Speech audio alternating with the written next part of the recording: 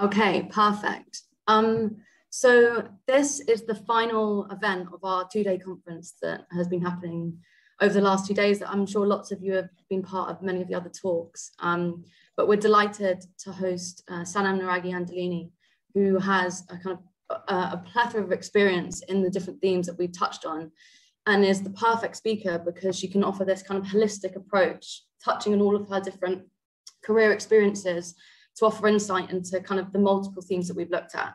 Um, so she has 24 years experience in conflict, crises and peace uh, and will offer an invaluable perspective, I'm sure. And as a very crude summary of her career, um, in 2000, she helped draft the UN Security Council Resolution 1325 on women, peace and security. In 2011, she also was the first senior uh, expert on gender and inclusion on the UN's mediation standby team. And this is very much, without speaking too much for you, Sanam, because I know you're going to probably go into this, but fed into her um, evidencing of how women are crucial first responders in post-conflict zones and, uh, and should be integrated in, in a much better way in multilateral responses to, to violence and conflict. Um, and with that contextualize kind of with that, that experience really contextualizing her founding of the ICAN, the International Civil Society Action Network, which um, connects, supports, and funds uh, women peace, build, peace builders around the world. Um, I would highly recommend going to their website. They have some amazing events. And more recently, she has been appointed the director of LSE's Centre for Women, Peace and Security. So an incredible career that we will talk about much more. Um, and we have lots of questions. Um, just a bit of housekeeping, we would really encourage all of you to submit any questions that you have, no matter how irrelevant you think they might be. This is very much an informal chat. Um, and throughout this conference, we've really encouraged people to uh, speak aloud their questions. We, we kind of, this is usually in person, so we want to encourage that as much as possible. So just pop a note on the Q&A and we can promote you to a panelist for a couple of minutes. Um, and without further ado, I think we'll begin. Thank you, Sana. Great to be here with you guys. I know it's an afternoon, Friday afternoon, so thank you for the hangers on and the survivors. I'm, I'm sure after uh, it, it's been a long day, but um, I hope that we'll make this last session fun and interesting as well. So yes, let's go. We, we decided, to, uh, for those who don't know, we decided we do it kind of really very much as a Q&A so that it's, it's a conversation, not just me talking at you, because I'm sure you've had enough of that already. That's great. I mean, hopefully it will be exactly as you just described it. So I will actually start with the first question that for me, obviously, as a person from a Swiss background, um, I believe everyone watching can see that your name on Zoom actually reads MBE at the end.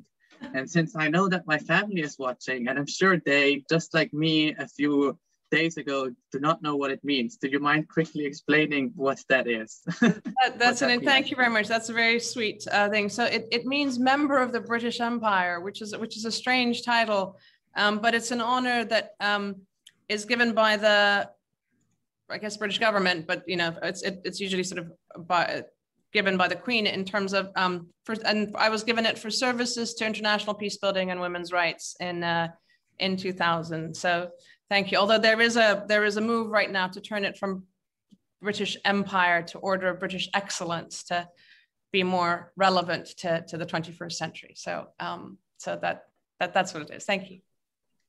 Arguably, there would also be much less negative connotations that some people would perhaps take if that yeah. word of the empire would be removed. Exactly. Yeah. Mm, yeah. So for our first question, um, uh, obviously there has been one hot topic during this entire year and perhaps without much surprise, our first question will be about the ongoing pandemic and mm-hmm. COVID-19. Yeah. And we would like to ask you, and we have phrased this question in a specific way. You're obviously free to take it quite literally or also not. But if you're thinking and looking at the international response to the pandemic and all the related aspects, what are some of the things that really make you mad? What makes you mad? What makes me mad? Um, what a great question. Um, so I'm going to start. I'm going to actually preface what I'm going to say by um, apologizing on behalf of the baby boomer generation and the Generation X generation, which is my generation, to all of you because, um, and my children are the same generation as you, um, they're in, in university right now, for the world that we are handing over to you and, and very much the international system that we are handing over to you. I, I, I feel as if um, these two generations have really not done service um, to us globally in terms of not only maintaining and strengthening and sustaining what was created back in the you know at the end of world war ii for us as, a, as an international peace and security architecture with development and humanitarian aid and so forth but um, but really making it fit for purpose for the 21st century. And and i say that because the covid response is a direct indication of that lack of attention the failure the lots and lots of nice words you know it, it feels as if sometimes the more you see uh, people kind of expressing rhetorically really important statements about how important it is to do local stuff or how important women are or how important in development aid is um, the more they say it the less is going on on the ground. And and what we're seeing with the with the international kind of response to covid is that first of all, when COVID hit, you know, last year, this, you know, March last year, when, when all of us kind of um, suddenly uh, realized that th- this is serious, um, our, all of our governments were asleep at the wheel at the, at the earliest stages. And there was the level of, actually, I would say profound racism that drove political decisions. So, you know, if you were sitting in the UK at the end of January 2020 or early February 2020, as I was, and you were watching what was going on in China on Twitter, you knew that there was something serious. You know, it wasn't that the Chinese are just crazy and they're authoritarian and they like to lock people up in their houses and and and fumigate their, their streets at night. It must have been something something serious going on, and yet that and or that people were wearing masks and you know, uh, um, as we saw around the world, kind of people making fun of uh, um, Asian um, uh, community, kind of wearing masks in, in, in public places the attitude was, oh, these crazy Chinese, the Chinese are authoritarian. These, you know, there was racism, implicit racism in, in the response to, to what was happening in China. Then it spreads and it comes to Italy. And again, the attitude, oh, the, the, the silly Italians, what do they know? They're so disorganized. You know, that's why it's happened. Then it went to Iran and it was, you know, images of mass graves. And it was, oh, these Iranians, and I'm, I'm Iranian by background. So, oh, these Iranians are just so dictatorial and awful. Look, they're burying their people in mass graves, right? So, but instead of looking at it and saying, what is going on? How, how profound is this crisis? It was, this was the sort of lackadaisical response from the UK and, and, and certainly from, from the United States. And then this pandemic comes here. And guess what we end up having? We end up having mass graves on, on island outside of New York. We end up having um, really mixed up responses and, and, and, and so forth. So, um, so that exposure of um, sort of the silent or implicit racism that that dictates so much of our attitudes around the world. That that was something that I found disturbing and and you know on the one I was kind of revealing it, but it was also very disturbing. The second thing that I saw was that um, all of our you know I, I, I live in I'm, I'm in the states right now, but everybody became inward looking right we're worried about our own backyard and you know do we have ppes in england and and you know and rightly so, right? You know, you have to look at your own domestic setting. But for me, working with um, this network, the Women's Alliance for Security Leadership, that that has members in over 40 countries, all of them fragile contexts, right? It's like all of them were affected or affected by violent extremism across Africa, Asia, the Middle East, Latin America, and so forth. What we saw was that as the world turned inwards, as, as rich countries turned inwards to look at their own concerns, and, and everybody was stuck at home, literally, the attention and care about what was happening in Yemen, or what was happening in Cameroon, or what was happening in Colombia, or Uganda, or Nigeria disappeared. Literally, people, you know, it just it just disappeared. And and and again, the assumptions that were coming out of even organizations like the WHO were, were you know, you it sort of made you scratch your head in terms of how connected are they to the real world and what what we've done to the world um, over the last 40, 50 years. Uh, and my example for that is that the WHO was saying, you know, hygiene, hygiene, wash your, wash your hands with soap and water, right? I was talking to people in Yemen and in Cameroon and in so many places where in Somalia and elsewhere where they were saying, we don't have water. We don't have soap. We have IDPs and refugees. They can't afford soap. Right. And this wasn't just one place, it was everywhere that was that is poor, poor and fragile. Right. Which, which again, going back to the original, you know, the, my original point about what, what is the world that we've created, it's been in the in the kind of if I, if I go go back to the 1980s and the beginning of a neoliberal economics and trickle down economics and structural adjustment and and you know uh, you know privatization and so forth. What we've seen for 40 years is that we have really gouged out and, and destroyed social economic welfare and, and, and systems and structures you know what you know clean water clinics healthcare education that kind of stuff that kind of thing we, we've destroyed. And then you layer it with militarism and, and conflict. And and not only we we, we haven't sort of um, uh, you know sort of kept maintained what was there. We've just literally destroyed these things. The water stations have been destroyed. And then comes this pandemic and the who saying hey go go wash your hands with, with soap and water. And there isn't. There literally isn't right? So so what did we see happen on the ground was that again through this this my network um, as of pretty much the end of march we started doing zoom calls on a weekly basis with with our partners. And, and it was anybody who wants to show up on a thursday morning um, you know we would this, the, they could come. And and we started tracking and listening to what people were saying and then connecting each other. We're all on whatsapp but we ended up having a whatsapp group of women from pakistan and cameroon and nigeria and you know yemen and so forth teaching each other about how to make soap or how to make um, hand sanitizer. You know, you get the aloe plant, we got the alcohol, we do this. We, you know, it was really interesting the innovation that was happening. The second thing that we saw, what that we did and we saw was that here we were internationally sitting and getting the latest information about should you wear masks or not, or how, how close should you be to someone and, and, and so forth. And what do you do if you're in a community setting? From the you know uh, CDC here in the US and, and, and from the WHO and so forth. And what we did was we would take this information, um, repackage it in more simple language, get it medically sort of okayed um, by, by, by, by, by professionals, and then share this with our partners so that they then received it in English from us or for in Arabic if we, were, we had the time to translate it.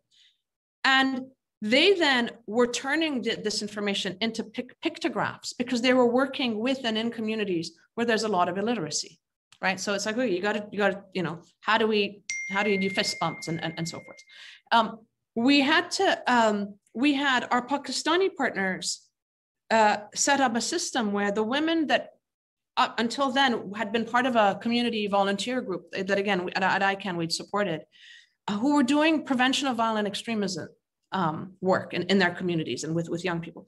Those women automatically turned into um, sharing information about hygiene and how to deal with COVID. And they would do it in a very traditional way of standing on their rooftops in, in, in, in areas and talking to each other across the rooftop. So this is something that's been going on for hundreds of years, a means of communication, 100. And so they were doing this on their rooftops. And meanwhile, in real time, and, you know, like we were sending through WhatsApp, okay, here's the latest information. And, you know, here's what you need to do about masks and, and, and, and so on. So so that there was, on the one hand, an unbelievable moment of suddenly seeing what it means for, for our work and, and the value of, that we've been kind of espousing, which is that it's really important to strengthen local rootedness of act, actors and, and activism and, and kind of social organ, you know, organizations, civil society organizations, community-based organizations. You need that, that local rootedness, but you also need the global connectivity to be able to share horizontally across countries and then vertically between kind of them and, and what the institutions are saying and, and what, what the world was saying. And this is this is really um, if, if there's one silver lining that I would say that that we need to to, to really um, get look into and say how do we replicate this? How do we strengthen this mo modality? Right. This is the one thing I would say the COVID era um, has shown us that uh, when the when crisis hits it, it the, lo- the, the international actor is irrelevant practically.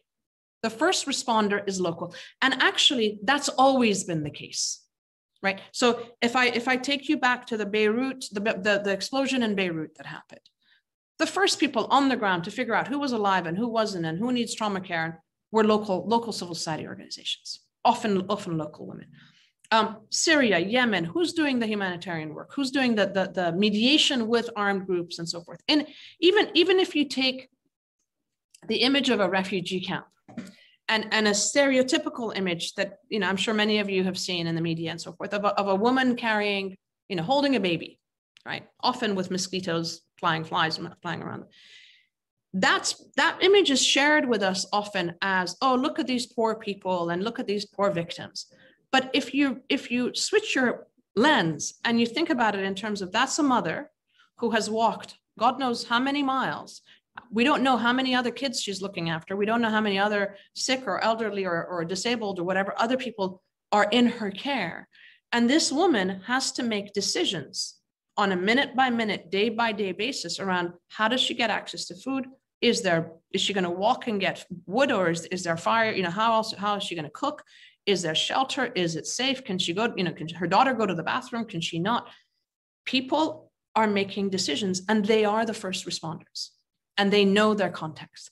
And so, so what we as international actors have to be doing is being much more respectful of engaging them and asking them and understanding their agency and then responding and designing our responses on that basis and really becoming humble about who we are and what we are and what we know and what we don't.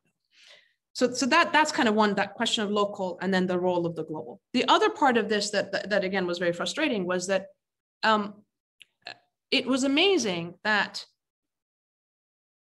the international and I, and I mean the UN systems and so forth. Once you know COVID comes, like any other response, uh, like any other crisis, it's it's a moment for capitalizing on the on the crisis because it becomes a moment of, of generating resources and saying, okay, who's going to take the lead and who's going to you know we need to do you know build back better, like you know all the sloganeering that goes on for the 25 years I've been in this space, we've been saying every crisis, every issue has a gender dimension. So long as there are men and women, you know, forget about even trying to break down what we mean by gender and identities. And so, so long as we have people who are some, you know, some are men and some are women in the world, um, you need to have gendered responses in your humanitarian work. You got to figure out where are the women, where are the men, who's doing what, what, what issues are they facing, and so forth.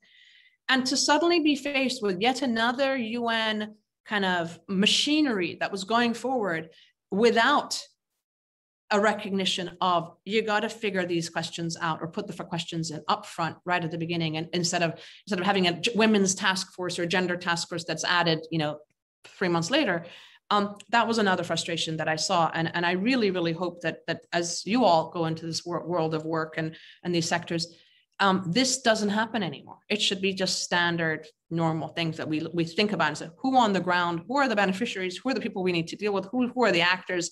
Let's figure this out and let's engage them on, on, a, on a respectful uh, basis on that way. So those were some of the issues that I saw. Sorry yeah. about the long answer. No, no, it's, it's fascinating and absolutely. And you have to ask, you know, given that women have been the first responders for years and it kind of seems seems an obvious point, why haven't the international community responded to that and, and adequately integrated those responses for years. I think actually that leads on nicely to a question that we had from, from Emma, who asked about your experience working on 1325 mm-hmm. and thinking kind of, you know, what's the future of that? Do we need a new resolution? And uh, yeah, uh, you know, asking those questions about how we can better integrate those um, women-centric responses. Sure, thank you. So, so um, I'll, I'll, give you a little bit of the history of, of 1325 and then, and then tell you where we are and, and, and um, where I think we need to go with it.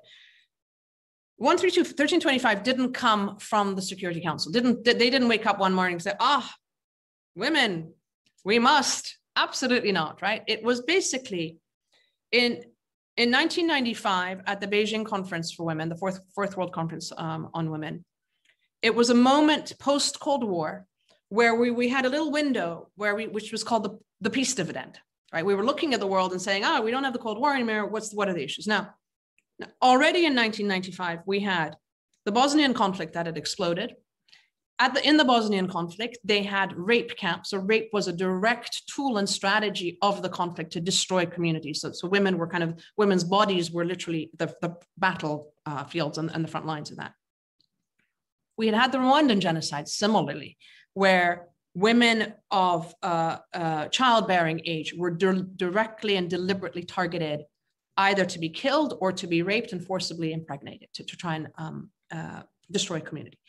So there was this issue of understanding that we were in an, in an era where um, the nature of warfare was changing and it was no longer battlefields were no longer out in some you know field somewhere and, and the home base was safe actually the home was the battlefield and individuals and civilians were the targets and and, and that's that that trend has continued to today and, and I'll and remind me to mention this if, if uh, later on if, if I forget at the same time uh, uh, that we saw this, that, that women were kind of at, at, the, at the literally their body, their bodies became the battlegrounds between men from, from different ethnic or religious communities and so forth. It was also in the immediate aftermath of the Oslo peace process or peace agreement for Israel Palestine. It was a moment where, not, where um, Northern Irish women had gotten together, Catholic and Protestant, and they were making a really big push for in, involvement in, in, the, in, in, the, in, their talks, and they were doing a lot of the back channel things. So they came in 1995 to Beijing, and while there were other topics to be discussed, you know, women's health, women's education, the more traditional development stuff, they actually created a new topic area, which was called women in armed conflict. And said, and out, and out of those discussions between, say, this variety of people who were coming really raw from, from the wars of Bosnia and Rwanda and elsewhere, and then these the, the, the, ones that were actually sort of part- participating in peace process, came chapter E of, of the Beijing Platform for Action that was basically saying, wars are changing, we need women need protection, we need women need to participate. So this duality of, of, of issues. I was working at International Alert, which is a, a UK-based NGO, you know, starting in 1996, and we were looking at the changing nature of conflict. And we had colleagues who were working on the ground in places like Burundi, working with women um, around how do you bring, let's say, teachers and health workers, community workers, people who are trusted and who have access together as women to be the mediators and the peace builders. And, and for them to see that when you bring, let's say, Hutu and Tutsi women together in Burundi through conflict resolution exercises, for them to understand that they have more in common as women based on their experiences in life and, and what's going on than what divides them based on their ethnicity. Were so they keen coming for, you know, were they they were coming, yeah, they were coming in and and and we see this over and I mean this this for me is a repeated exercise um, across the world that that once you bring women together and you actually get them to say, okay, there's been a conflict, there's a war. How's it for you? How's it for you? Your kids, my, my kids. Um, you're worried about this suddenly they realize that they have that, that their gender identity is much stronger unifying factor than the divisive essence of ethnicity, race, nationality, etc. Right? But the point is that people want to keep you divided. Right? People, people today, they're you know, Iranian, Israeli, Saudi women. Right? Imagine if we could actually all get together and start talking about what's going on in the Middle East. Iranian, Israeli, Saudi, Palestinian, whatever we'd probably have a lot of creative things to say to each other. And we could probably talk about the politics, but we could also talk about the social and, and but the laws of these countries. If an Iranian meets an Israeli, it's illegal. If an Israeli meets an Iranian, they get into trouble. So, so there's a divide, there are sort of ways in which conflicts divide us as human beings. And, and, and as women, what, so, so anyway, so Beijing does this. We, Alert was doing this work. And what we realized at some point was that there is no vocabulary for recognizing what women do. And, and in 1998, we had the first world conference uh, that was about women, war, and peace, basically in London, actually with King's College as one of the, of the co-sponsors. I, I, I can dig up the reports from, from that meeting. We had 50 women from around the world. And it, again, the conversations were between those who were involved in peace processes, those who had been involved in being victims, those who had been fighters. We had a former uh, fighter from South Africa who'd been in the MK. She, she was called the, the knitting needle bomber, right? And she, she was now in, in the South Africa, at that, at that point, she, she'd been voted into the South African parliament after, after, after apartheid. And we started talking about these things and realizing that there, there's no vocabulary, there's no policy framework, there are no parameters. It's, it's just a completely invisible world. And that's when we started saying, okay, we need a campaign to go to the Security Council to, to have a policy framework, to have a global reach. And the campaign was called Women Building Peace from the Village Council to the Negotiating Table. And it was consultations around the world in war zones to say, what do you want to say to the UN? What do you want to say to the European uh, Parliament? And what do you want to say to the uh, OSCE? Those were the three policy targets that we had. My boss basically said, you're going to the Security Council. You know, so I get sort of sent to New York to, to work with organizations in New York and, and mobilize and, and, and so forth. And what we did was we drafted our version of the resolution that we wanted and we negotiated amongst ourselves so in the in the sort of working groups, we had organizations that were working on refugee women. We had Amnesty that was doing human rights. We had WILPF that at the time was very heavily in the nuclear disarmament space. We had International Alert that did peace building. We had to negotiate amongst ourselves. What do you put in a draft resolution? And, and given that people have come up and said, we care about participation, we care about prevention of war, we care about protection of women's physical and legal rights as refugees and in, and in war settings, and, and we care about sanctions, the impact of sanctions. So we negotiated, we drafted, we put our resolution down. We were lobbying governments day and night, both in New York, um, Security Council members, and in London and in Paris and, and whatever, giving them our resolution. And then finally, when when you know various pieces fell into place, Bangladesh, Namibia, etc., came on board. They took our resolution. They worked with what was then UNIFEM, and had to then renegotiate because it had to become a governmental thing. Right. So a bunch of the things that we cared about stayed. A lot of the stuff, a lot of the metrics and benchmarks and stuff disappeared, sadly. But a bunch of the stuff that came from women stayed. And, and that became, if you want, like the mother sort of the flagship resolution. And it still remains important because the subsequent resolutions that we now have 10 women, peace and security resolutions. And then we have other ones that are about women and peacekeeping and, and, and, and things. So there's a plethora of resolutions. But the other ones that have come have come from governments. And what governments often do is they limit it and say, you know, this resolution, it relates to situations of, or, of conflict or countries that are on the Security Council's agenda. It limits it all of a sudden. 1325 doesn't have that.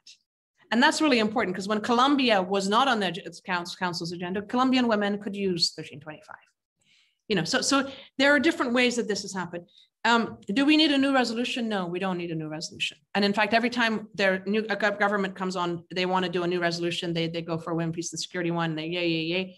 It's been a bit of a disaster because we've had pushback from China and Russia. We had tremendous pushback from the US under Trump. Um, but more importantly, is that these resolutions, the basics are not being implemented. And the more we think, oh, we need another norm or we need another action plan, people think that the once you have the paper, you're done. No, the paper is a piece of paper, right? It's got to be done on the ground. So, so for me, the issue is we know we have the language, we have good practice, we have good lessons of what works and what doesn't work. Um, what really needs to do is to have that system, systemic change and systematization of the good practices and getting rid of some of the inertia and the and the old boys networks and others that that perpetuate the bad stuff. We actually, oh, Olivia, sorry, yeah. the problems of two of us, but we yeah. had a question in the gender panel that I think would feed into that. Um, and Helena asked about um, how often you don't really, you know, it's, it's only really after a, a violent event or gendered violence that you then talk about what was the impact of that, the trauma. And by that point, obviously the trauma's already happened. So how can you better integrate preventative measures for sexual violence in particular? And how has the UN got the jurisdiction or the sovereignty? I think I find that kind of debate really interesting to actually intervene pre conflict or even in a single country if the violence is within the country and it's not crossing borders. I think all of those issues really overlap and it's often quite a messy there's no real straight answer. Uh, yeah, so so definitely. So again, this is again where the local and the global becomes really important because this is so in the aftermath of the Cold War, so going back to the early 90s, the, the issue that we saw with the international system was that it was designed to, you know, the, the whole UN system in terms of whether it's mediation, intervention, prevention, et cetera, is designed around interstate conflict, right? And, and that's one principle. Well, that's one element. The other premise. So on the one hand, we're saying we want to prevent. You know, the, the charter says we want to prevent the scourge of war for future generations. We believe in, you know, we the peoples of the United Nations, right? So there's, there's kind of a sense of borderless, we're all in this together, universal human rights and so forth. On the other hand, it says UN is member states, uh, principles of non-interference and sovereignty of state are really important. So again, we come into the 1990s, we have problems in Somalia, we have problems in Bosnia, we have problems in Rwanda, etc. And uh, the the kind of the Security Council, they're all sitting there going, "What do we do? What do we do?" And and and they don't want to like put themselves at risk and so forth. So in the case of the Rwandan genocide, it took them three months to agree to call it a genocide because, according to the charter, if it's a genocide, you have to intervene. But they were quibbling because they didn't want to send their own soldiers. Now, if you go back to the preventive side of this, what was happening in Rwanda um, in, in the in the run up to this to this problem? Um, General Dallaire was heading up the peacekeeping mission in Rwanda. He was hearing the the rhetoric. It was on the radio. They were talk, you know, uh, extremist Hutu uh, uh, uh, radio was calling Tutsis cockroaches that need to be killed. I mean, it, it was literally a commission afterwards, a Danish commission afterwards. It was like all these early warning signs about who they were going to target, how they were going to do it. It was all there, right? Gendered, non-gendered, um, you know, women, men, etc. General Dallaire was sending these red alerts to the UN in New York, to the head of the peacekeeping uh, uh, department at the time, who was a was a character called Mr. Kofi Annan. And, and Kofi Annan was ignoring what General Dallaire was doing, was saying, right? It just they just weren't taking it seriously. And in fact, when things got worse, they pulled out instead of adding more peacekeepers that could have actually just calmed things down. They pulled out the peacekeepers, leaving a, a very limited few people. They pulled out international staff. International organizations took out their own staff, they took out their pets, they didn't take out their Rwandese local colleagues. Right. This is this is again that kind of moment where you where you say, wait a second, are we in this all together or are we not?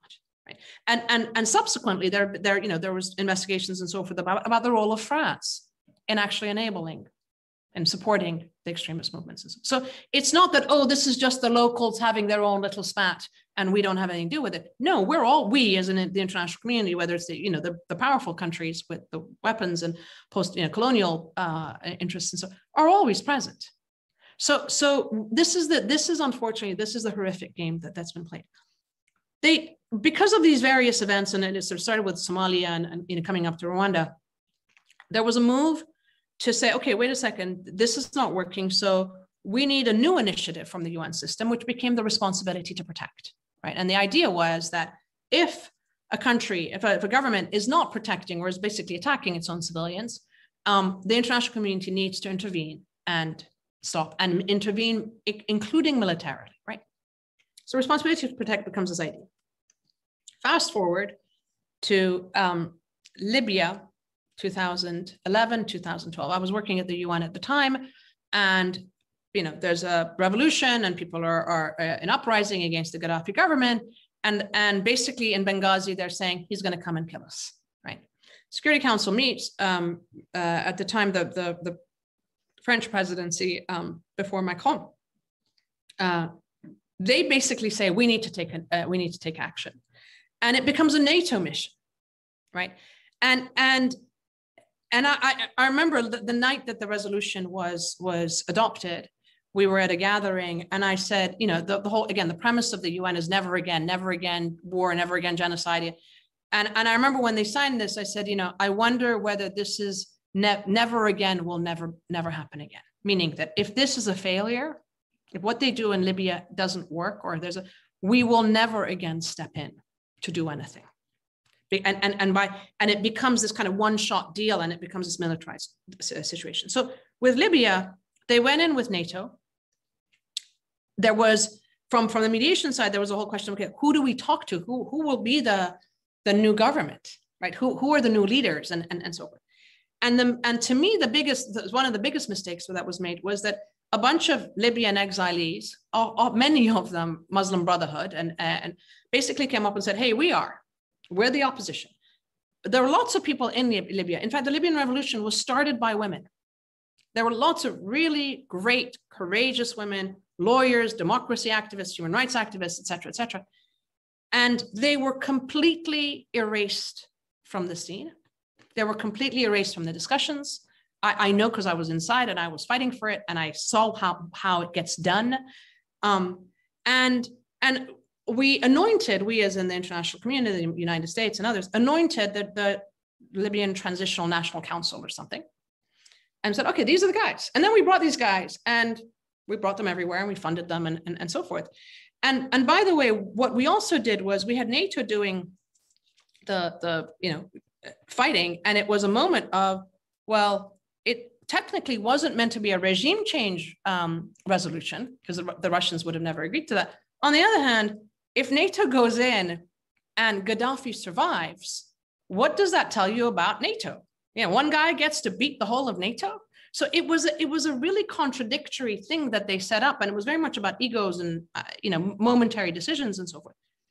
But they get rid of Gaddafi. They they put this guy. They um, they didn't want to have a heavy kind of presence of Western soldiers or Western uh, you know forces because of Iraq, uh, what happened in Iraq and so forth.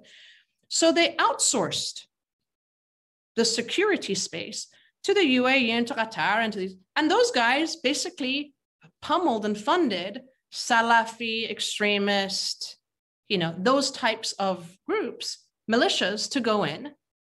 And Libya became a total mess. It is, and it and it's and it's insane what we have done to Libya. We're really responsible for this, right? But it's it that became the the so then we come the worst the, you know if, if if the and i didn't mention the iraq war but the, but if if the security council decision to sort of not agree to the iraq war and and, and back in 2003 and the uk and the us went against that decision if that was one big whack in, in terms of the credibility of the international system the next big whack comes in 2015 with the yemen war because libya even syria you could argue okay these were civil wars do we go in do we not should we should we not you know, moment decisions being made at various moments, calculations and so forth, various mistakes. But the Yemen conflict, so Yemen has its revolution. Yemen has, again, lots of women, lots of young people. They set up a national dialogue process. The UN helps. It was women, youth, tribal leaders, political leaders. Everybody was part of this national dialogue process, right?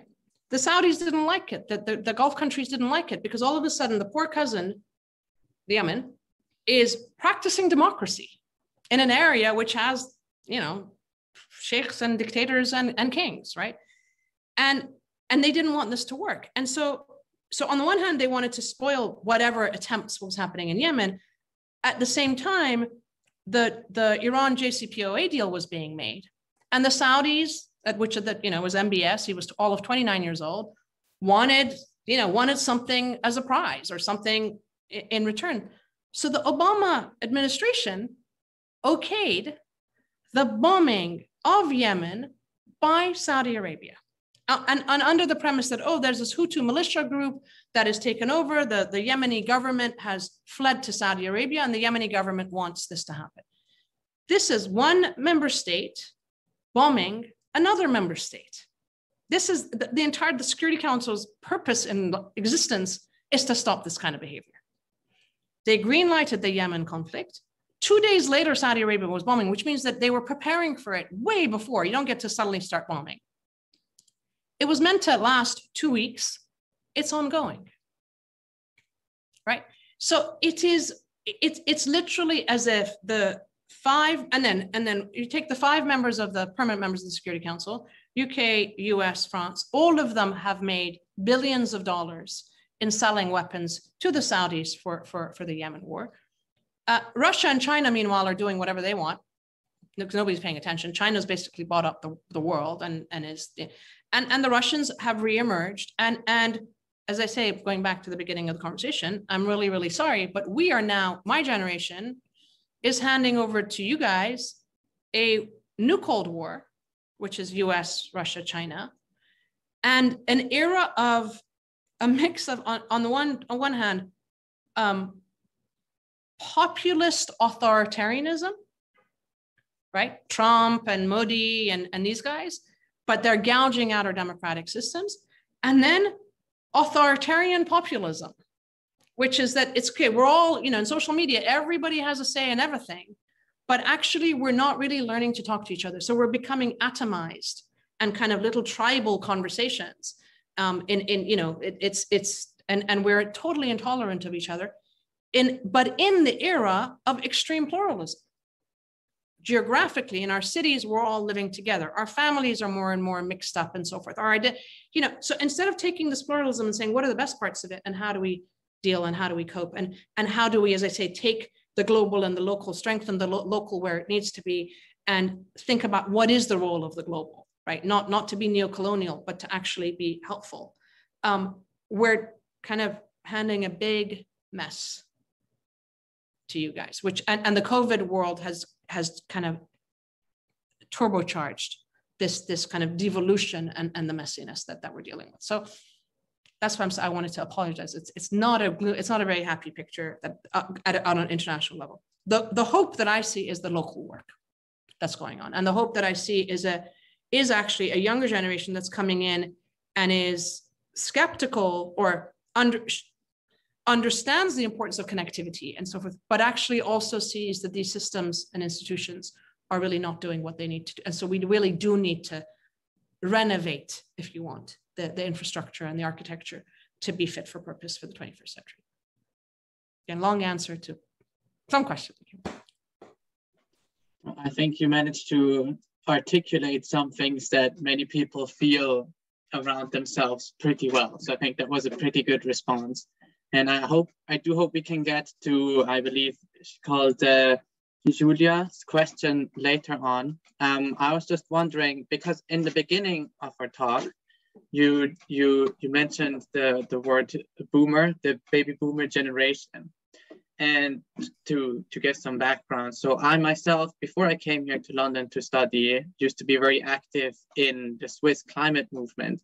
And what I and everyone else there uh, saw happening with COVID while we were, I think, having some success in pushing some sort of radical climate justice discourse during COVID, the attention completely dissipated.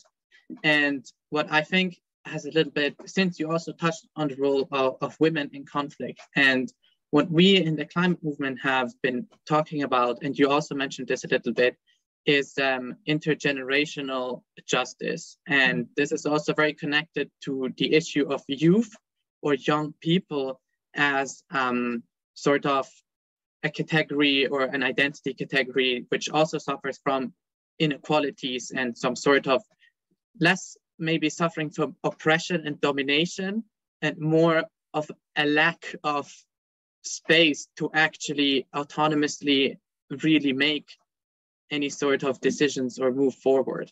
I'm mm-hmm. wondering what what has what have been some of your experiences, especially with the with the ICAN and in terms of youth, and especially obviously in uh, in a conflict settings of uh, various kinds.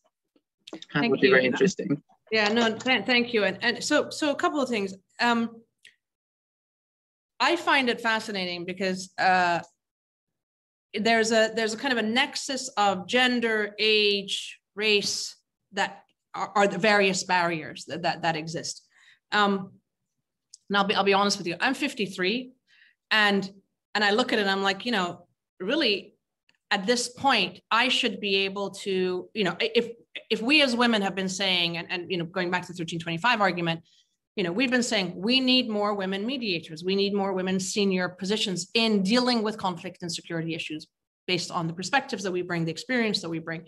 And because this agenda has largely come from outside the in the sort of formal systems, a lot of the experience, my experience sits in civil society. I've worked with the UN or I have colleagues who've worked with the UN, but so many of us sit outside the system. And yet, even we are still fighting to, to say, can we open those doors? So, so I, I just this just this morning I saw there was a tweet of a, of a of a photograph of a meeting between the UN envoy for Yemen, and he's gone to the region. He's talking to the Iranians and others, and it was a it was a room full of men, old, white-haired men, and I'm like, it is gerontocracy is is kind of stifling all of us, right? It's it's there is this, you know, how, we can we can talk about how nice or not you know our various leaders are, but there is a real problem when that the, the, the, the inability to open up space, right? The inability to bring the next variations of the next generation forward, right? And, and, and to sort of keep keep that space open and, and mentor and, and, and so forth. Now, with women, what and with ICAN, what, what I've tried to do, I mean, apart from my, my own team and my own staff being various ages and, and young people, and you know, we have we have everybody. I, am I'm definitely the oldest um, in the mix. Um, in the network, we have a variety of more experienced people, people who've been at it for 20, 30 years, younger women that have come in, um, organizations that have been either set up by younger women or organizations that are set up by, by older women and, and they're bringing in younger women. So we see a, that diversity of age and experience coming in. And, and the, the, one of the challenges that, that I see is that it's really important to be able to, on the one hand, value the experience that comes by having been around the block a few times right? It's it's for example when i you know any any 13 any conversation i'm in these days around women at the table you know afghan women should be at the at the peace table yemen women yemen like literally i have this is a repeat for me it's like pushing repeat going back 5 10 15 unfortunately 20 years right so what i want to make sure is that if the next generation is coming through they don't start with thinking this is new that this problem or this, know, the way that it's been framed is a, no, it's not new. This is the same old way that they, you know, they'll tell you go and get evidence. They'll tell you it's culture. They'll tell it's it's the same excuses repeatedly, and that and so that's why I've written about it. And I've said here here's what they'll tell you, and here's what you got to say about, you know, or here's a way of thinking to ch- to challenge that.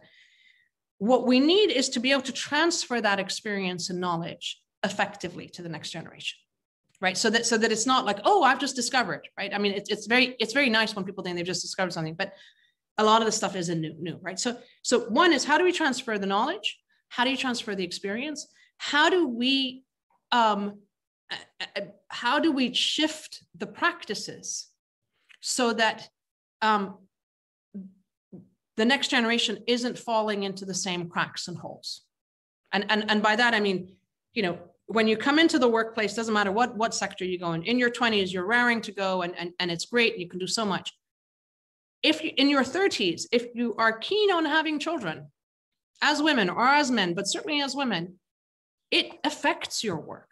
It affected my work. I had to rethink the way, the speed at which I could do stuff and, and what I was doing. But, but I figured it out in, in various ways. And and those experiences you also want to share you, you want to bring in you know a lot of times it's policy changes that you want to have in place to enable people to continue um, uh, working you know remotely or, or however it is with you know, childcare so they're they're aware they're, they're sort of elements of how do we shift the the institutions so that it makes it easier there's also another way of thinking about this and, and this this i think is kind of where it's where it can get really interesting um, if I if I if we kind of go very simplistically in terms of generational things and say, okay, um, and especially this is for women, but we say, you know, Ruth Bader Ginsburg, the former um, Supreme Court uh, justice, she had to fight to get into university because it was all men, right? She had Hillary Clinton got into university to, to study law.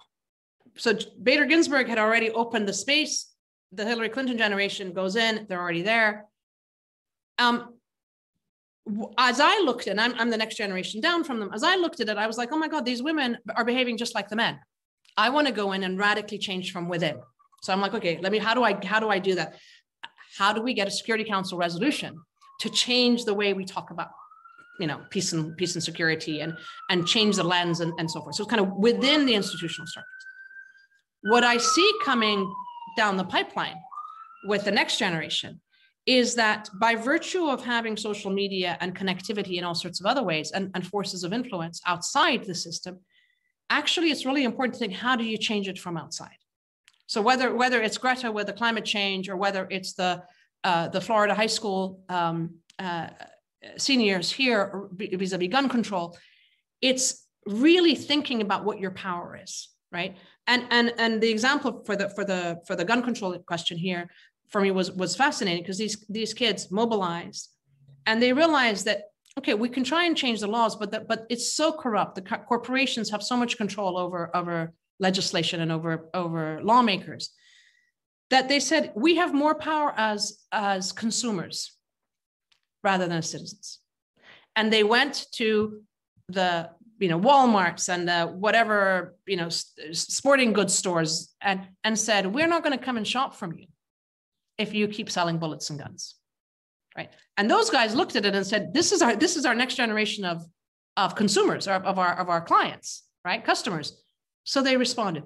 This kind of thing i think is really important for, for the younger generation to think about. Where does your power sit? And and and um, and but but at the same time it's like don't forget to pick up on the knowledge and and stand on our shoulders right? You don't need to come and stand in the hole that i had to stand in or the or the sort of platform. It's i stood on one platform of, of the generation before me. I've created go but you need to have that knowledge base. And, and that requires being diligent about reading up and, and, and, and showing up and talking. The other part of the intergenerational injustice part that, that i see and, I, and I'm, I'm glad that you reminded me of this is that in the same way that I mentioned, you know, we were seeing in the 1990s a targeting of women, and that continues violence against women, and and really kind of using women's bodies or co-opting women um, for the service of of a very sort of that sort of masculine supremacist movement. So whether it's ISIS or the white supremacists, they're really good at co-opting women and using women. They don't elevate women to the status of leadership they want them there to help. They want them there to have kids. They want them there to be spies and messengers and fundraisers and so forth. But it's a masculine it's a very sort of white or not a white male but it's a ma- male supremacy movement as i say any of these extremist identity based movements that you see. Um, so there's a usage and use and abuse of women. The other side of uh, uh, the other sort of th- thread that's now emerging is the targeting of children and this to me is, is one of the most devastating things that we're seeing. So if you look at Afghanistan, if you look at Yemen, if you look at Palestine, you know, the median age in Afghanistan is 18. 42% of the population is below the age of 14, right? So if we have empowered and legitimized the Taliban, which we have done, by the way, right? Um, and we're and and and we've set up a peace peace process, a power dynamic process. It's a power sharing uh, conversation where Afghanistan is represented 50% by Taliban and 50% by government, ex warlords, political leaders, da, da, da, da, you are letting the past literally kill the future. Similarly, Yemen, if we are arming and selling weapons to Saudi Arabia to go and bomb Yemen, and the majority of the population is, in Yemen is below the age of 18, we are willfully killing children. I don't know whether you've seen that the images coming out of the Israel Palestine conflict in, in, the most recent. They are arresting kids under the age of 10. Israelis are, are targeting and arresting boys and girls, little kids. Right? That's, that's what's happening. Why are they doing it? Well, you know, some crazy guy will say, oh, because these, these are the next terrorists. You know, it's, it's like, but there is a there is an insidious question here of what are we doing when not only we're not leaving a client, you know, an environment that that's livable in or an economic system that is that that is kind of balanced equally, but we're now literally our governments, our military strategies, the or, or, or quote unquote our allies um, are targeting willfully or by omission or by commission children. And, and we don't even have a name for it. We have a name for killing women, it's femicide. We have a name for killing based on ethnic or it's genocide. What's the name for killing children en masse? Infanticide is, is one word, but, but there, we, we almost need a new vocabulary for this. No, I mean that is that is very true, and I mean the, I think the trend of children or young people, especially under 18 or teenagers, being targeted in, in this way, either strategically or of repression, is a trend that we've been seeing a lot. Again, relating to Switzerland, it's just the context I know the most. We are about to pass a law which would allow the police, without any sort of court order, to put um, teenagers in, in under house arrest on mere suspicion. And yeah. I mean, this is unfortunately not, yeah. Yeah, uh, you know, there's something really insidious going on. And, and this, this kind of, this issue of under the veneer of a democratically elected leadership or whatever, actually gouging out the, you know, our judiciaries, our independence, you know, the, the human rights norms and, and so forth. This is something that, that again, we need, we really need a push from the younger, from a generation coming through, from lawyers, from people to, to, to really understand this because it's, if you go back to the Universal Declaration of Human Rights, if we had implemented those 31 and sort of you know uh, articles. The world would not be in the mess that it is right now. We didn't. It's been now over 70 years right? Going back to women peace and security if we had just implemented what w what the first resolution says we wouldn't be in the place that we are now right? So it's we have all the words we have all the right things to say but it comes down to the implementation and, and the question of you know what where does where does power sit? Is it that we now have to work with corporations who are, as I said, it's consumer question. Do we use our power as consumers to, to, do, to do that? It's the other thing that I, that I really want to um, highlight for people here is that very often one of the things that they'll do in terms of sort of sending you off on a wild goose chase is to say, ah, we need capacity. You know, if, you know, if they were qualified, young people were qualified, women were qualified enough, etc. What we're seeing more and more, and it's, it's very obvious for me, is that it's not that women don't have the capacity or the experience or the or the you know qualifications whatever that is. In fact a lot of the men who get these positions don't have that at all. But what they have is connectivity and access. So so and and that's that's where the networking and the kind of coming together and being able to sort of um, as I say, from the local to the global, opening spaces up um, and, and so forth makes makes a huge difference. If you take somewhere like Myanmar right now, you know, we we talk, we have me partners, Marie's partners. Part of our thing is, what do you want us to say and do? What can we do for you that you can't do for yourself? And what can you do over? So, so again, the connectivity, this space of extreme connectivity is really important, and we have to kind of exploit that in a, in a really positive way. Yeah.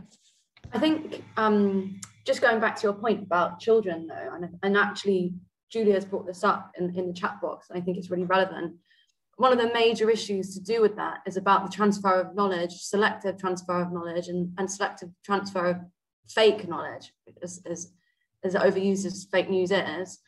How do you think that plays into kind of, or how do you think that affects response to violence or maybe preventative methods and yeah, let's go with that. I think we'll have to.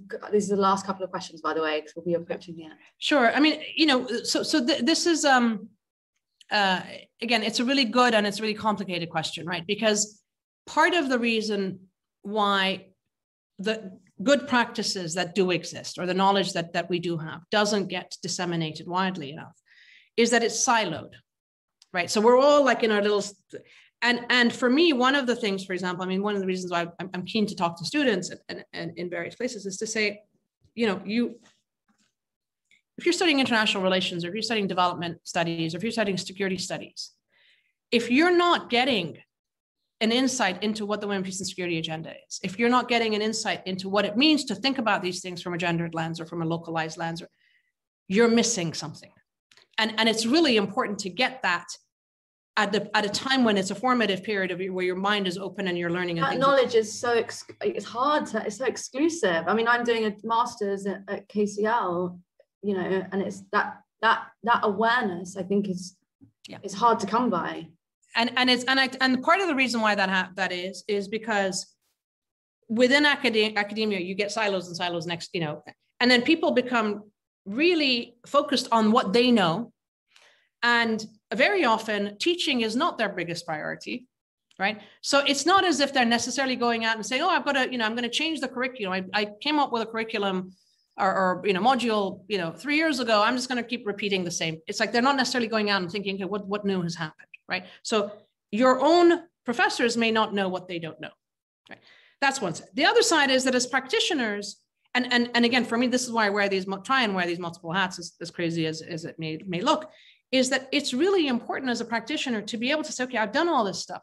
How do I bring it in into an academic setting? And how do I get students to actually see and learn and, and be able to, to think this through? But we're still stuck that there's gender studies and there's security studies. It's not, a, a, it, it should be that, okay, you come in and anybody who, who is graduating from, from King's or from LSE or from a, doing any of these social social sciences, they need to have a gendered lens on everything because everything has a gendered lens, right? And and me, if I if I put my employer hat on the other side, I'm like, this is what I'm looking for, right? It shouldn't be that you come to me and it's the first time as as a as a you know in your job application that, that you don't know this stuff, right? So there is an element of changing the institutions up and, and students demanding it. There's another element of saying, okay, well, where else can we find this? It's on it's on on the internet, it's on YouTube. It's these kinds of extra um, sort of curricular sessions and so forth. But but if if it's not embedded in the teaching, it's really hard to make it embedded in how you think. And, and I sometimes wonder, you know, how do the medics do it? Medicine keeps evolving. The teaching of medicine keeps evolving. Um, not only it's it's evolving in the medical school, but you come out and you you've, you've trained as a surgeon or a dentist or whatever. You keep having to go back and pick up the new tools. You know, latest whatever in endodontics and and you know whatever surgery. It's hard. It's it's hard for people to keep, but they keep doing it. And yet in social sciences, we don't. And, and, and, and I'm coming back to the peace process question. I'm like, you know, we have ample evidence to show that peace processes that are designed around two parties, two conflict parties, belligerent parties sitting and talking to each other, give you bad results, end up failing, end up fragment, creating fragmentation and so forth. Peace results that are inclusive, especially of women, women peace builders in civil society, have a better chance of, of survival. And yet each, you know, Afghanistan, we've screwed up royally. It, it's, it's devastating. Yemen is the next one coming along. And, and already with Yemen, we're seeing that even the good practice that existed for the Yemen process in 2015 is already being sidetracked and, and, and done in a multi-track process, which basically means, you know, here's the formal and then good luck to you down in the boondocks on, on track 15 where we have women. It's, it's this kind of inertia and it, and it relates back to people being stuck in their ways of doing things generationally how do they see the world um, and and the inability and unwillingness to try new um, try new things for for for whatever reason because uh, there are no incentives or they feel as if there are no incentives for, for new practice and there's certainly no obligations right? They don't they don't fail. Um, in fact they fail upwards often when when they when they get it wrong. Yeah, no, I, I think that is that those are some very important points. I mean, in our in I'm doing the CSD masters at King's, and we have one class that is like one week is uh, about gender, and then it is more it is mentioned um, among the other topics that we cover every time in a short um, or whenever then it's relevant, it comes up again. And mm-hmm. one of the one of the other topics that we mentioned leading up to any question is um, the international system as we know it. Because you have talked a lot about how we have all the words, we have the nice documents, and almost all of the right uh, dictionary and words that we want to use, but the implementation is not working out. And also piggybacking on one question eh, that we have in the Q&A box. Um, obviously, a big topic in international relations is reform of the international systems. So mm. should more countries have a veto right? Should the veto right be abolished, etc., etc. Mm. Um, maybe from your perspective, what do you think should be a few of the things which have to be changed or ideally should be changed in the international system to improve its working and maybe finally get closer to the implementation of these nice texts that we have to finally get that working? What are your thoughts on um, that? For, the first thing I would say is I would like uh, the powerful countries to lead by example, right? Um, and that's a that's a big it's a big problem, right? Because if you're the United States and you're saying um, ah, human rights matters a lot. But your ally is Saudi Arabia. Oh, women's women's rights really matter. We think women are really, really important. And your ally is Saudi Arabia in terms of how it treats its women and how it has spread Wahhabism, which is one of the most um, extreme, kind of uh, intolerant, um, kind of sectarian uh, faiths, if you want, or belief systems, ideologies. Um, you have a problem if, if you're similarly, I mean, I didn't even mention, you know, we mention Israel. right? So, so the hypocrisy question is a, is a big deal there. And, and, the, and the issue is that instead of it being that, okay, we're saying, here's the standard that we want, and um, we're all aspiring that way, it's become what about, so it's like, it's like well, you know, the, the, Americans point a finger to the Iranians about whatever, and the Iranians are like, well, what about you guys? Or, and it's really kind of a spiraling downwards. You know, it's not about kind of being the one who says, hey, I got this and I'm, I'm great. It's really about, you know, what I got a C minus, he got a D. Oh, he got a D. I got a D. I mean, it's it's it's going to the lowest common denominator as opposed to the highest common denominator. So this this is one. Now, basic things that that I you know we I, and I'm happy to share with you um, some like basic things of saying okay, we don't need to knock everything down right now. Can we just do some of the little tweaks like at a moment at this moment? Afghan peace talks. Why are we not making sure that a delegation of Afghan women peace builders, a delegation of victims of violence, delegation of youth are being invited to Doha to speak to the various parties, to sit around the table and meet? Why are, why, here's a question for you. Why are these big men and their guns so afraid of women? They, you know, the Yemeni parties won't agree on anything. The Afghan parties won't agree on it. They all agree on excluding women. So you got to ask, what are they afraid of? Right. And then why does the international community that is funding, enabling, legitimizing, etc., all these things, on the one hand say, oh, yes, 1325, and we have our national action plans. And on the other hand, sit there and say, oh, well, you know, the Taliban won't talk to women. No, the Taliban do talk to the women, number one. They talk to women all the time on the ground and, and, and so forth. I've talked to Taliban at conferences. So that's that's nonsense. Secondly, who cares if they don't?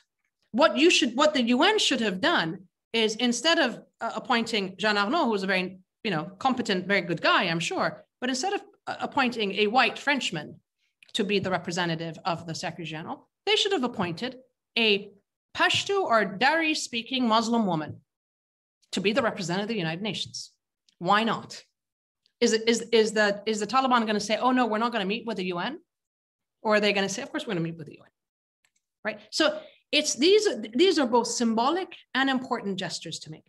Um, every time there's a peace conference, every single country in the world wants to come and make some declaration of, you know, we believe in, you know, I think Mexico was present when the when the Syria peace conference opened, right?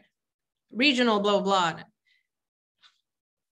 All these countries that, that say they, they support women or youth peace and security, how about having in your own delegations a Syrian peace builder, woman peace builder, and a Syrian young person. How about saying our three minute slot that, that we make a speech, we're going to read from their statement, or we're going to, this person's going to be in our delegation and they're going to read the statement. Open the spaces that you have. I get, um, I, and this, this is, these are, this is a sort of classic and, and, a, and a really silly example, but recently I had a, there's, there's a big conference coming up and um, I got an email from a, from a very nice colleague saying, I'm speaking at this panel. I haven't been on this issue. I haven't been looking at this issue for a while. Um, can you give me some talking points about really what's going on? Right now, I'm like, I looked at it, and my, you can imagine what my inner voice was saying. But really, the answer should, the, what I should have said is, you know what? If I get invited to speak on a panel on an issue that I'm not really adept at or I haven't been involved in, I say, it's not for me to do this. Can we open it up and give it to somebody else? Why not so and so? I mean, it goes back to this point about occupying spaces and not giving, you know, why is it that there is a persistent thing of thinking they as individuals, they as a generation, they as a cohort of, you know, a, you know, network of old guys, whatever it is. And, and by the way, network of, of, of, of women, you know, the old girls are just as, can be just as um, cabally in terms of how they keep things uh, tied together. So it, it's it's really that moment of saying, am I willing to kind of think about um, uh, changing the way I the, the way I do business in as of today, you know, and and and it happens. So I've been at various points, for example, the Canadians or the Norwegians, or whatever, there, there have been governmental conferences, and they've put me on their delegation to be the speaker for. So I'm like, it's done. The EU um, at one point brought Yemeni and uh, when Federica Mogherini was was was the head of the External Action Service, um, she brought Yemeni and Syrian women peace builders on EU diplomatic visas to the United States, to the UN meetings, because Trump had banned Yemenis and Syrians from, from visas to the US. So she said, okay, they're going to get diplomatic passports. They're, they, they're coming in. It's doable. It's been done, right? It's just a question of whether we really want to shift these power dynamics and be transformative, or whether we still want to be like, I'm in control and, you know, you, you are beholden to me in one way or another. That's the shift that needs to happen. And that shift needs to happen in the international NGO space. It needs to happen bilaterally. It needs to happen with, with, with the UN system as well.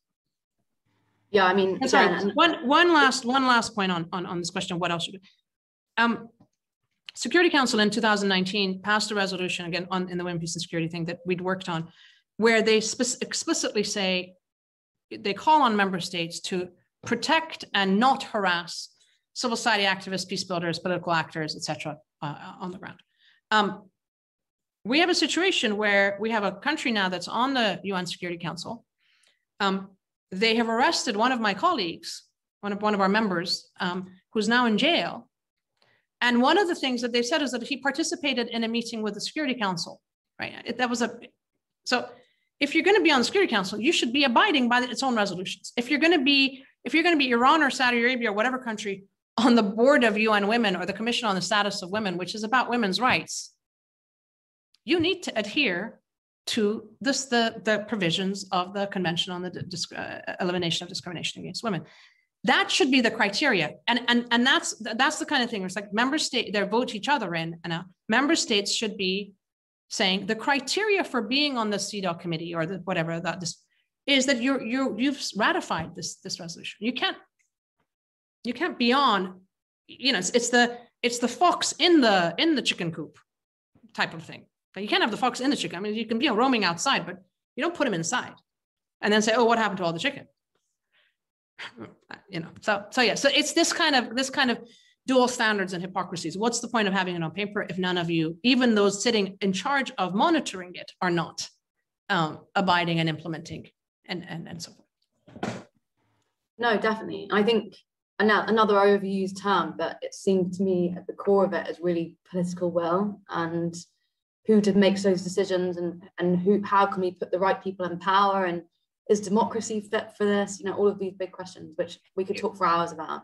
Yeah, but, it's it's all of that. It's also it's also never under never ever underestimate um, the degree to which personal competition and incompetence become the factors around which yeah. policies are made. And, and that's that's the most depressing part of it because if I believe that you know there's a conspiracy theory and, and there's somebody sitting you know with a big button and, and and this is why things happen and there's some control, it would make my life slightly easier. It's actually seeing that oh my god this you know they make the soup in this way and then and then you know here we are working on this issue for 20 years and the diplomats change every two years so every two years you're dealing with somebody new who hadn't heard about this stuff from the last 20 years. It does, it's not like medicine or science where things build. So, so yeah, so, so, and then personal, as I say, personal, um, personal vendettas, personal uh, competition between people within institutions and stuff can kill a lot of really good ideas. So yeah, I'm going to put you on the spot and say, as a last concluding comment, what would be your one key takeaway from this talk and uh, you know, what would be your one, the single most important thing you'd like us to take away today? Single most important thing is um, we are, and you are going to be living in an increasingly interdependent, pluralistic mm-hmm. um, world. We need these institutions that were created and, and um, with all of their flaws we we need a kind of a new energy coming in to make them work so engage with them challenge them go inside them change them from within change them from without mm-hmm. but don't take them for granted and and i and for anybody who's interested back in uh, i have a book um, that i co- co-authored called civil war civil peace from the 1990s there's a chapter in it which is the history of diplomacy and for me what's i when i always think about this i say 500 years ago, two Italian guys were saying, we need to have a, you know, com- coming together of nations. And then that idea didn't flow for 500 years. And then X million people get killed. And we come, we come five, five centuries to the, the League of Nations, and that doesn't work. And then finally we get the UN. And it's taken a lot of time to get to where we are. And it's not inevitable.